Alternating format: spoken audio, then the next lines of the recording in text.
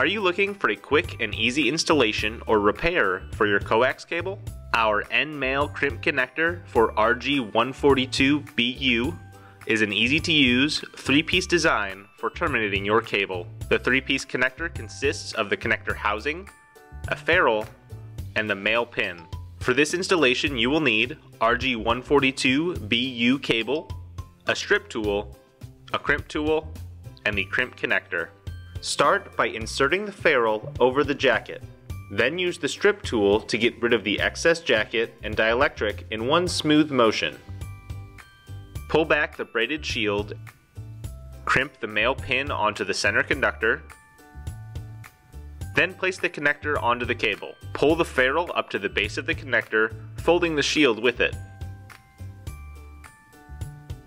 Then use the crimp tool to terminate the ferrule onto the jacket.